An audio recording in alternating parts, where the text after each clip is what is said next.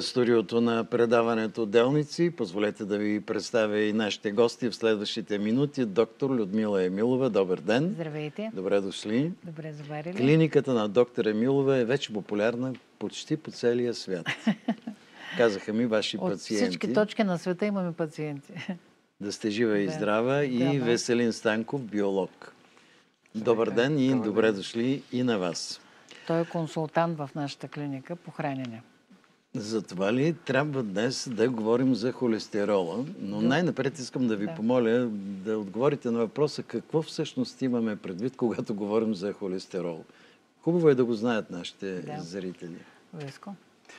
Ми холестерола, всъщност това е една молекула, която е много важна в човешкия организъм. Повечето животински видове могат да го произвеждат. Проблема е, когато той се намира и се натрупва там, където не бива. Да. А, той бива пренесен в нашето тяло от едни протеини, защото той, нашата кръв е на, реално обича водоразтворими вещества да плуват в нея, понеже холестерол е, има липидна структура, т.е. Мога ли да го да, Сега ми минава през главата нещо, правете ме, ако се изказвам неподготвен, да си го представя като вода, върху която е капнат, е, капнато олио, да Не, речем. не. Да, бихте могли. То е восъчно вещество, Да. по-особено. И затова му е необходимо водоразтворими молекули да го пренасят. Мгм. И тези водоразтворими молекули, в зависимост... То винаги си е една и съща молекула, самия холестерол, но преносителите му имат висока плътност, там идва и high density, този добрия холестерол, и low density, този, който е рехавия холестерол, който може да прави така наречените атеросклеротични плаки, които всъщност така силно недолюбват повечето лекари, най-вече хората, които ги имат във високи количества. Добре, това поражда и следващия въпрос, въпрос колко вида холестерол има. Добър и лош. Искаме да имаме по-висок стойност на добрия холестерол, тогава няма да имаме плаки по артериите и по-низки стойности на лошия и общия холестерол. Да. И аз а, днеска специално искам да обърна внимание на това, че когато в изследванията на кръвта на съответният пациент се види, че има високи стойности на лошия холестерол и на общия холестерол, тогава обикновено да сега съвременните лекуващи лекари на пациентите веднага вземат рецептата и почват да пишат, изписват лекарства. Пациента пита да сменя ли начина си на хранене, докторе. Мгм. Повечето лекари отговарят, няма нужда. Ето тук сега яш си всичко, пий си всичко. Ето тук ти изписваме ни лекарства, те със сигурност намаляват стойността на холестерола, на лошия холестерол. Това наистина е така, обаче мисля, че главната цел на лекарите би трябвало да бъде пациента да бъде здрав. Пациента, който има висок холестерол, той трябва във всички случаи а, висок лош холестерол и общ холестерол, той във всички случаи трябва да смени начина си на хранене. И това трябва да бъде първа точка. Винаги студентите, когато сме учили медицина, винаги първа точка от лечението е храненето, диетата, начина на хранене. Тази точка съвременните лекари я прескачат и почват направо лекарства, което е лошо. Ами, защото всички ние имаме лоши хранителни навици. Да. По-голямата Ами, част Можем даже. да ги променим. Ако знаеш, Да. че имайки сега висока стойност на лошия холестерол или високи триглицериди, това означава в близките години да получиш инфаркт, да получиш инсулт, да ти се запушат артериите на крайниците, да се наложи ампутация, да се запушат финните малки артерии на очите и да ослепееш. В този случай аз мисля, че трябва да си напълно малумен, за да не вземеш някакви крути мерки, това да не продължава да е така.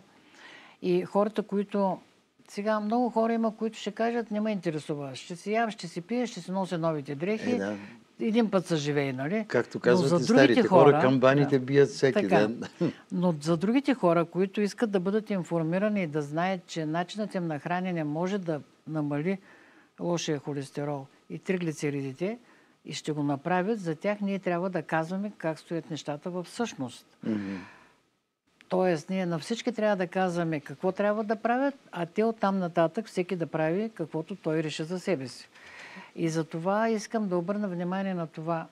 Колеги, обяснете на пациентите, че колкото повече животински храни ядат, толкова по-вече ще увеличават лошия си холестерол в кръвта.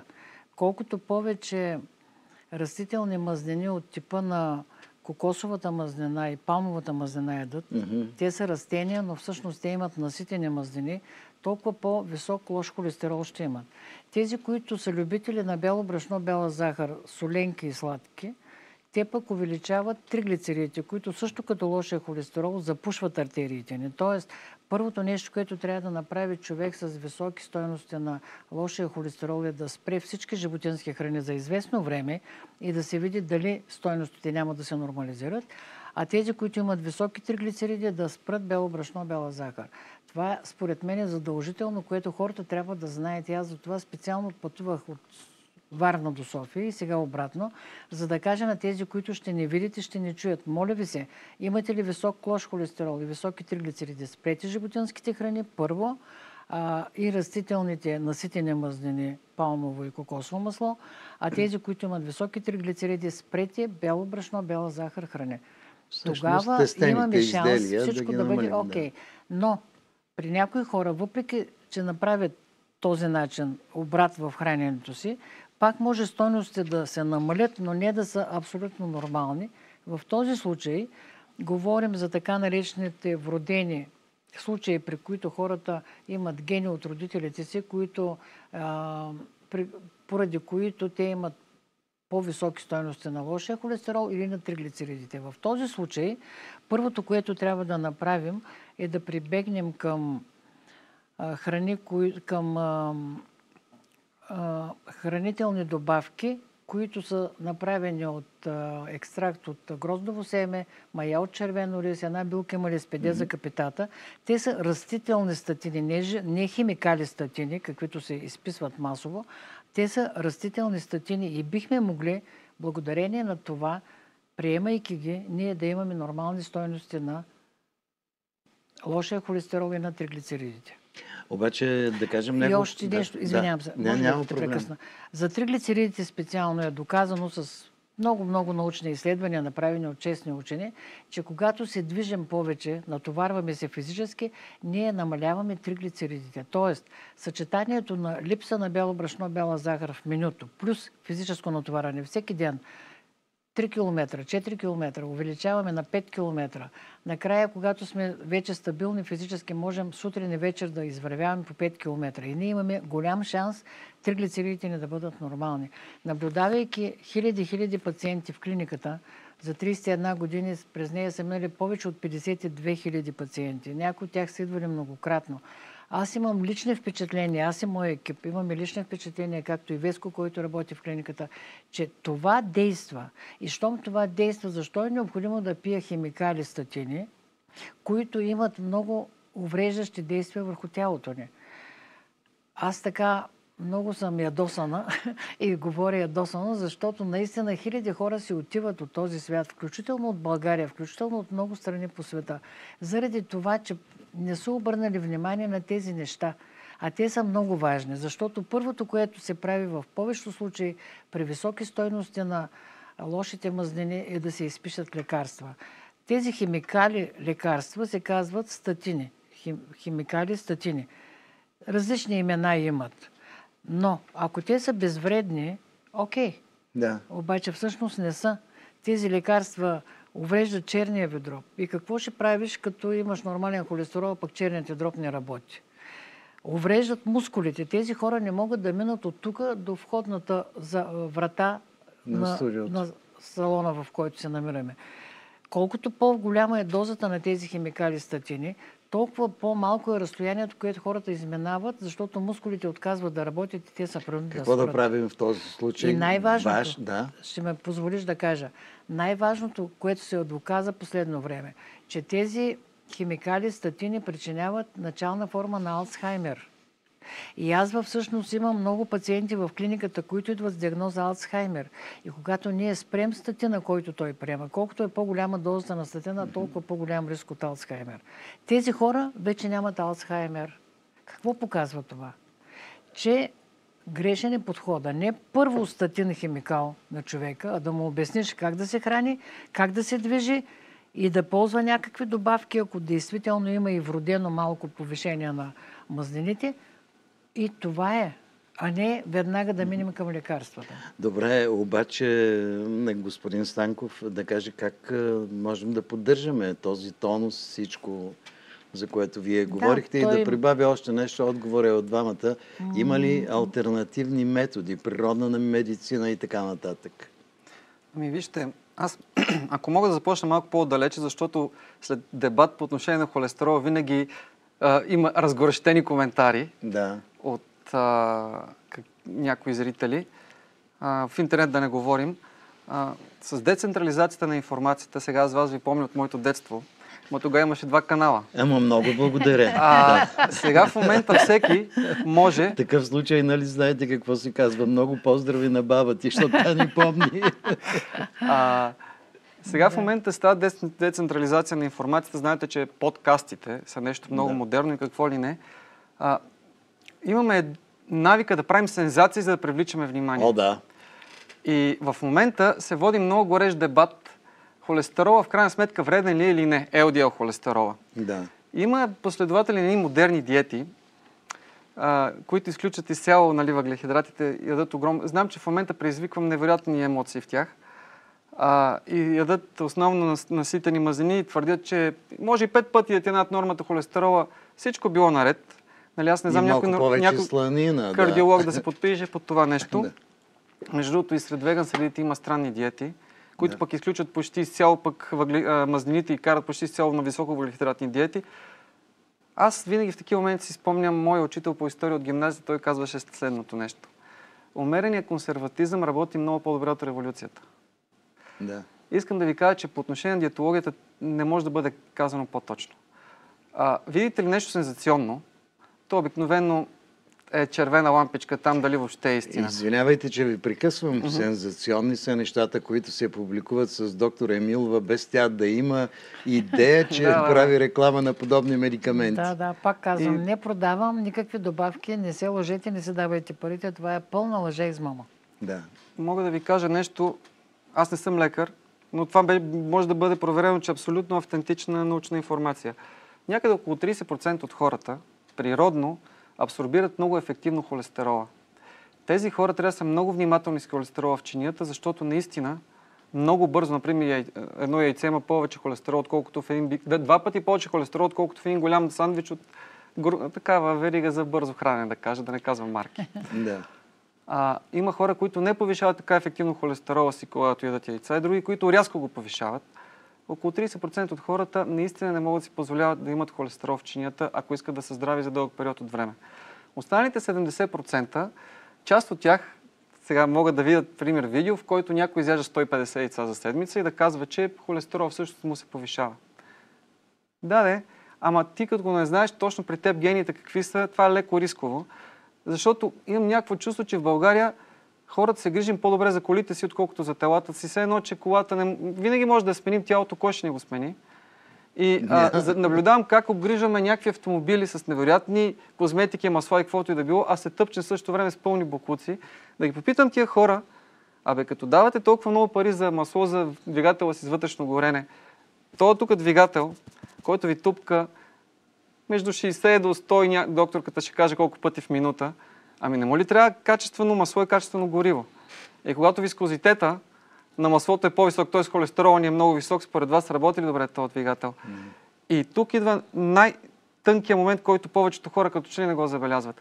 Много по-вредни за хората не са точно холестерола и тези липопротеини в храната ни. Много по-вредни са наситените мазнини. Защото наситените мазнини възпрепятстват ефективната работа на черен дроб. Той не може да се отървава от излишни холестерол по този ефективен начин. И съответно, повечето животински а, мазнини съдържат много масни киселини. И какаовото, ето сега даваме пържени картофи, обаче мога да ви кажа далеч, дори доста по-вредни храни от пържените картофи за холестерол, но както и да е. Е, кои са, кажете една-две. Да, ми, примерно, в момента се шири навсякъде колко е полезна свинската сланина. Да. Вау! Само да ви питам нещо. Според вас, коя ни е а, официалната религия в България, която ние сме спазвали от хилядолетия? Православното християнство. Ами две трети от годините са пости. И пак ще ви кажа, май умереният консерватизъм работи по-добре от революцията. Не случайно са измислени. Да, но, но това, което в момента не искам да чуем, че може да закусваме с бекон, с яйца или пък кафе с няколко супени лъжици Чакайте, кравешко чакайте, масло вътре. това му казват английска закуска. Е, Окей. Въпросът е, че българската казва закуска в повечето случаи не е била кафе. такава. Но, но да, окей. И бронирано кафе се казва. Идеята ми е следната.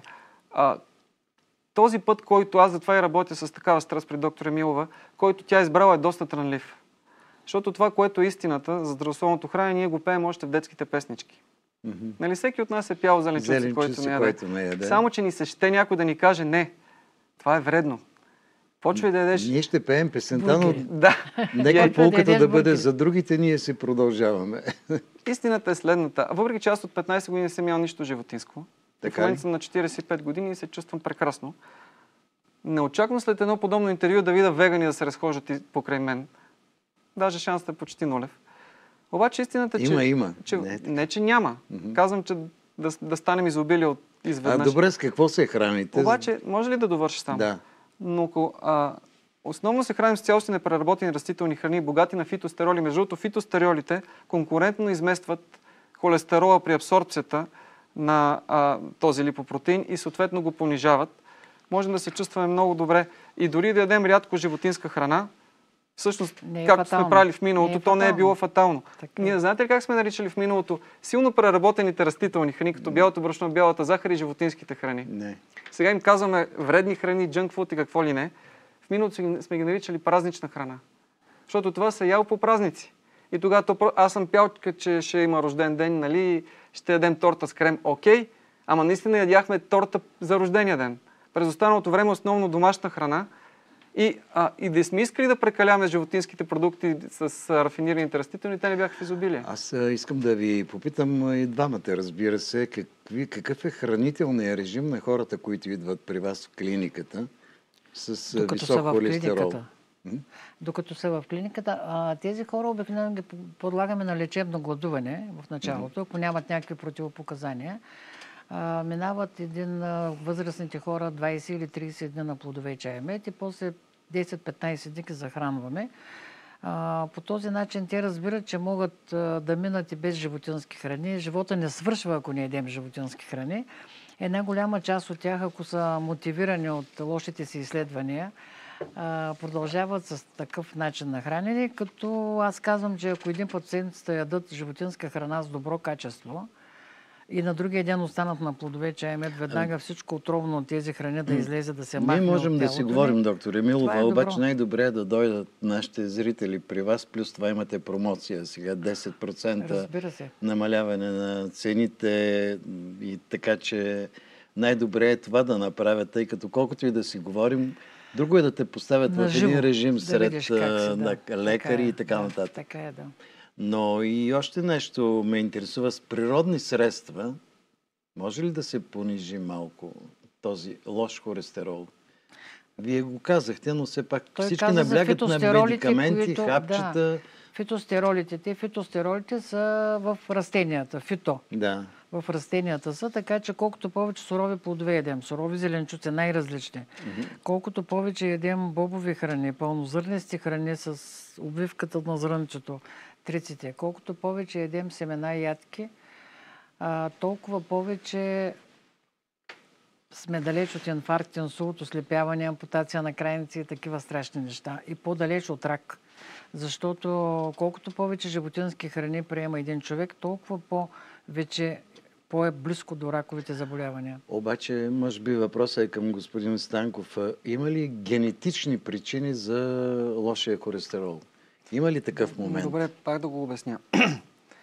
около 30% още не сме много наясно, поне Да. от това, доколкото аз знам като информация, около 30% от хората са така наречените хиперабсорбъри, т.е. те абсорбират много ефективно холестерола. Да.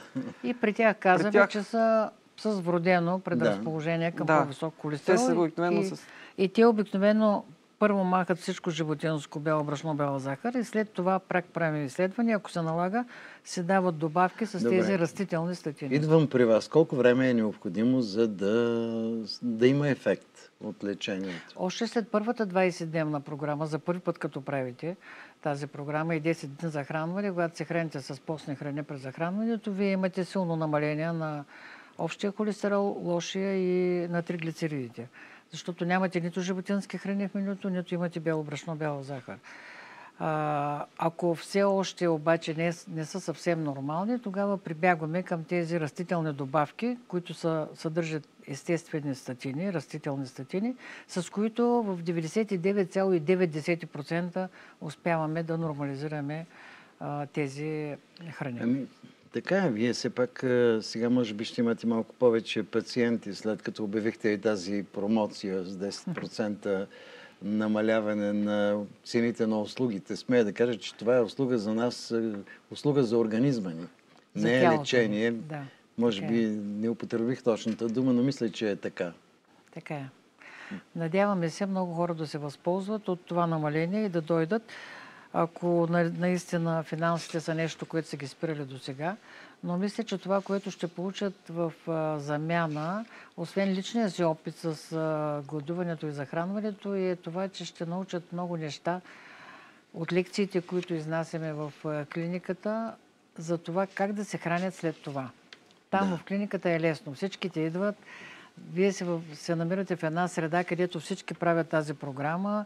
А, много вдъхновяваща среда, много позитивна енергия. Всички Разходки екипа сега се грижат за вас. брега на морето. Да, а, в къщи е трудно, но в къщи, ако сте слушали тези лекции, гледали сте съответните филми, които всяка вечер прожектираме, говорили сте с хората от клиниката, тези, които са в момента там с екипа, аз мисля, че нещата много по-лесно се случват.